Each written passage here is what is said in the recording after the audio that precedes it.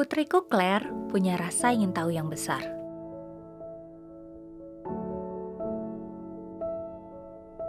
Anak seusianya senang bermain dengan banyak hal. Aku tahu dia suka bermain dengan rambutku, tapi ketika rambutmu mudah rontok, kamu pasti tidak ingin orang lain menyentuhnya. Aku tahu rambut wanita lebih mudah rontok setelah melahirkan, dan itu bisa membuat kita merasa kurang cantik. Kita khawatir akan melihat helaian rambut rontok, disisir, atau di baju. Kita mencari cara lain untuk menjadi percaya diri. Aku senang aku tidak lagi seperti itu.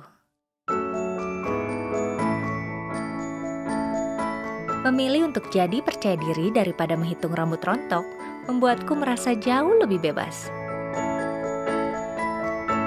Bebas menjadi ibu yang aku inginkan.